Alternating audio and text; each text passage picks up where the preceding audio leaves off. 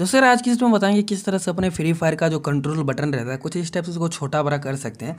इसलिए गैस आप जो अप्लाई करते हैं इस टाइप से आप भी छोटा बड़ा करना चाहते हो तो इसकी बताएँ किस तरह से इसको आप कहीं पर भी सहज अटैच कर सकते हैं।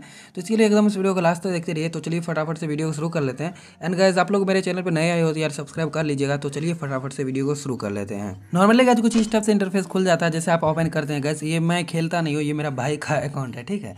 तो इजिली गैस आपको फ्री फायर को ओपन कर लेने के बाद क्या करना है सबसे पहले आपको राइट साइड में एक सेटिंग का ऑप्शन देखने को मिलेगा। देख सकते हैं यहाँ पर सेटिंग का ऑप्शन ठीक है? जहाँ पर आपका बैटरी का मैलेज यहाँ पर रहता है, वहीं पर सेटिंग का ऑप्शन देखने को मिलेगा। एक सेकंड में आपको दिखा दूँ।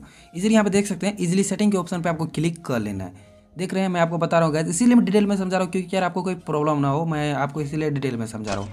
जैसे आप सेटिंग पे क्लिक करते हैं तो आपको एक कंट्रोल का ऑप्शन देखने को मिलेगा। थर्ड नंबर में यहाँ पे देख सकते हैं साइड में थर्ड नंबर एक कंट्रोल का ऑप्शन पे आपको क्लिक कर लेना है। जैसे आप कंट्रोल के ऑप्शन पर क्लिक करते हैं तो कंट्रोल उसके बाद आपको कंट्रोल हुड पर क्लिक करना है कंट्रोल हुड पर। जैसे आप कंट्रोल हुड पर क्लिक कर लेते हैं यहाँ पर देख सकते हैं तो कुछ स्टेप आपका इंटरफेस यहाँ पे खुल जाता है। यहाँ पर सारे बटन शो करते हैं जो भी आप फायर वाला बटन रहता है फिर जंप वाला बटन रहता है या फिर रिवाइव वाला बटन रहता है सारे यहाँ पे शो करते हैं। नॉर्मली जिस बटन को आप छोटा बड़ा करना चाहते हो उस बटन पर आपको क्लिक करना है।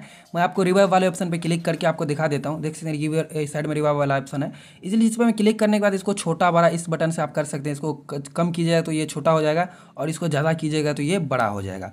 और ये ऊपर वाला जो ये काम करता है हाइड होने के लिए, इससे हाइड होता है मतलब कि ये दिखता कम है हाइड हो जाता है एक तरफ़ से, छिप जाता है। तो इसको आप हाइड करना चाहते हो तो हाइड भी कर सकते हो। यहाँ पे देखते हैं, ज़्यादातर हाइड हो चुका है रिवाइव वाले बटन और इसको भी आप छोटा बड़ा आप इजीली कर सकते हो अपने हिसाब से, यहाँ पे कहीं पर भी साइज़ अटैच कर सकते हो। और जो भी जितने भी यहाँ पे बटन है ना, सारे यहाँ पे आपके हिसाब से कंट्रोल हो जाएँगे।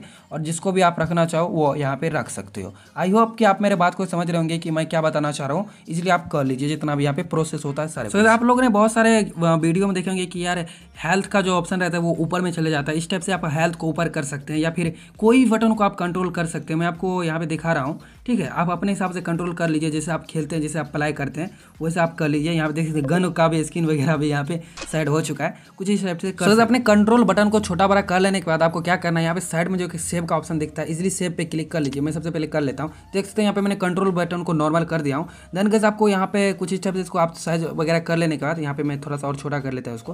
उसके बाद आपको यहाँ पे सेव का एक ऑप्शन देखने को मिलेगा साइड में। यहाँ थर्ड नंबर में देख सकते हैं। ऊपर में सेव का ऑप्शन दिख रहा है। इजिली आप इस सेव के ऑप्शन पर जैसे क्लिक कीजिएगा तो आपका ऑटोमेटिक सेव हो जाएगा और आपका गेम प्ले जब भी कीजिएगा तो वैसे ही आएगा। आई होप कि आप मेरे वीडियो पर अच्छा लगा हो। थैंक यू सो मच मिलते हैं नेक्स्ट वीडियो में। कमेंट करके बताइए कि वीडियो कैसा लगा। Thank you so much